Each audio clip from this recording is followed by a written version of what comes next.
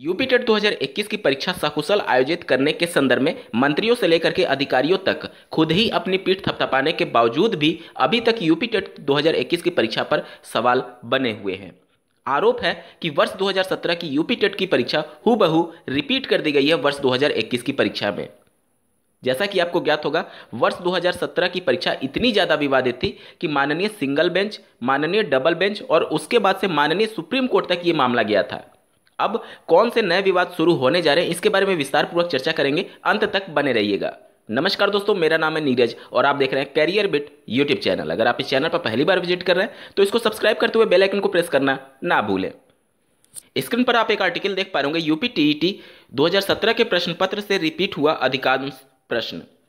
यहाँ पर आरोप लगने के बाद से सचिव परीक्षा नियामक प्राधिकारी कार्यालय का स्टेटमेंट भी जारी किया गया है। आप स्क्रीन पर देख पा रहे होंगे। प्रश्न पत्र रिपीट होने के मामले में पीएनपी सचिव अनिल भूषण चतुर्वेदी का कहना है कि परीक्षाओं में सवाल घुमा फिराकर पूछे ही जाते हैं। पूर्व में जो प्रश्न परीक्षा में आए होते हैं, वह बाद की परीक्षा के प्रश्नों में शामिल किए जाते हैं, जो सबके लिए समान होते हैं। उन्होंने आरोप को गलत बताया है।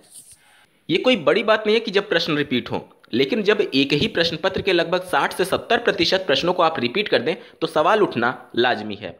सवाल इसलिए भी उठ रहे हैं कि जब यूपी टेट 2021 की परीक्षा 28 नवंबर को स्थगित की गई थी पेपर लीक की वजह से तो फिर ये मामले प्रकाश में आ रहे थे कि दूसरे राज्य से पेपर सेट कराया जाएगा ताकि इस बार कोई ऐसा मामला देखने को ना मिले। दो महीने का वक्त सचिव परीक्षा नियामक प्राधिकारी कार्यालय द्वारा लिया गया परीक्षा कराने के संदर्भ में। क्या दो महीने से आप कॉपी पेस्ट में ही समय व्यतीत कर रहे थे? क्या दो महीने में डेढ़ सौ नए प्रश्नों को सेट नहीं किया जा सकता था? आयोग के द्वारा ये लगातार प्रयास किया जाता है कि कोई भी प्रश्न विवादित ना हो। इस वजह से वो कोशिश करते हैं कि जो किसी दूसरे राज्य में या फिर दूसरे आयोग में प्रश्न पूछे गए हैं, इसी सब्जेक्ट से रिलेटेड उसी प्रश्नों को वो हूबहू देने की कोशिश करते हैं। लेकिन ऐसा एकाध क्वेश्चन दो तीन क्वेश्चन देखने को मिलता है। लेकिन यहाँ पर साठ से सत्तर प्रतिशत प्रश्नों को रिपीट किया गया है वर्ष दो हज़ार सत्रह की परीक्षा में। मामला सिर्फ़ यहीं तक शांत नहीं होगा।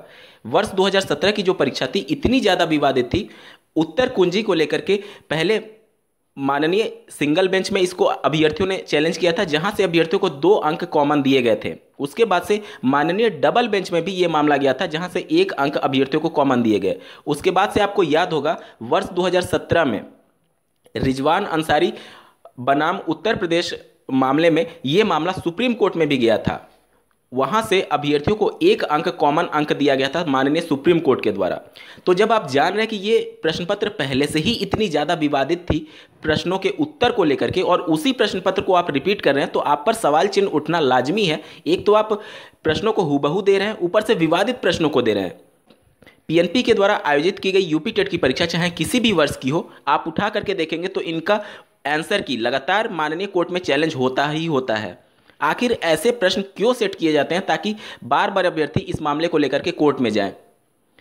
निश्चित तौर पर ये सभी चीज़ें रुकनी चाहिए। अगर आपके पास एक इतनी बड़ी आयोग, एक संस्था है और आपके पास एक्सपर्ट नहीं है कि दो महीने में डेढ़ सौ नए प्रश्नों को सही तरीके से सेट कर पाएँ बहुत बड़े बड़े सवाल हैं। निश्चित तौर पर पीएनपी जैसी संस्था पर भी सवाल उठने लगे हैं। इन सभी मामलों को आप किस नज़रिए से देखते हैं, कमेंट करके ज़रूर बताइएगा और ऐसे ही महत्वपूर्ण अपडेट के लिए चैनल को सब्सक्राइब करना ना भूलें। इस वीडियो को देखने के लिए आपका बहुत बहुत धन्यवाद। भगवान करे आपका दिन। शुभ हो।